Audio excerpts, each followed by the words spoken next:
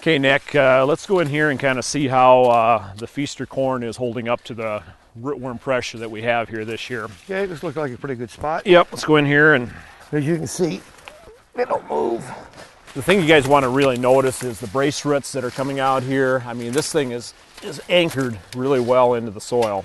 Look at the huge root mass that is, you know, all just connected here. And that's why Nick said we got to take it back and wash off the dirt to really uh, show you, you know, how much roots are underneath of this uh, of this Functional. plant. There we go. I think we got a pretty good representation. So let's take this out of here. And uh, We almost got a football hanging there. uh, I'm glad you're uh, good, strong here this morning. So. Okay.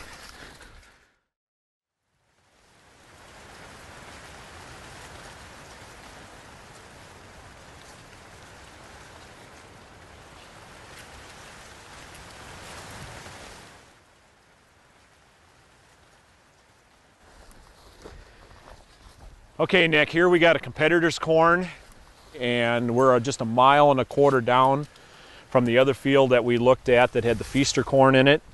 And so there's not much rainfall difference, and this is also five years corn on corn. Everything has been treated identical other than the seed that's planted here. So let's uh, see what the difference is. Well, we definitely got a problem. The field looks clean, but we've got some really short corn in here. This is a competitor's corn, and you can see the height difference. It's only, you know, shoulder high on me, so roughly five foot tall.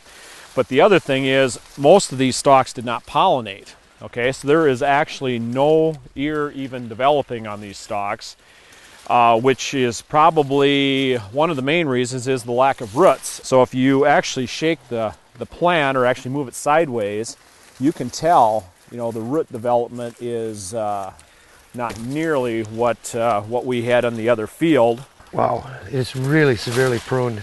Pulled right out with one hand. I think what I'll do is I'll see if I can't dig one of these. My gosh, there's so much feeding here, it's unreal. Each one of these plants, you can uh, go down the row and just pull them out with one hand. Yeah. And uh, we should not be able to do that. We've got about four roots feeding this plant of the nodule system, and it's unbelievable as dried as that this plant is even hanging on at this point. But as you can see, we've already got goosenecking, which is just going to get worse. And if there's, we don't get a rain, but we get some moisture, hopefully we'll be able to fill this ear out, what's, what's there. And the kernel depth is already starting to tip back. With the, the amount of roots there, I look for a shallow kernel, probably light test weight.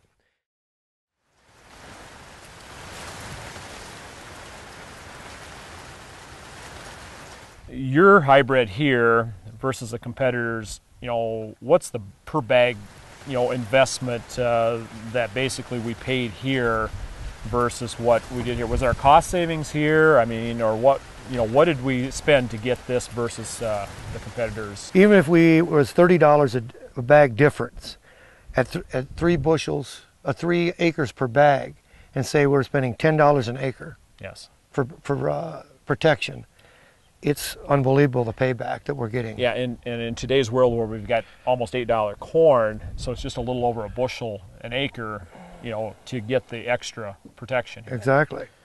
But you know, when we go to next year, it's going to be pretty easy to talk to the neighbors and a lot of the future prospects that had problems because when it rains, we will see this. This is probably won't even be harvestable. So that's going to be a total loss. A total loss. And you guys, when you started this, you were projecting, you were shooting for 200 bushel corn. Yes. Okay. That particular hybrid, it still had potential for 150 or more if we get some moisture. Yes. Okay, we're waiting for that. These guys are pretty much over the hill.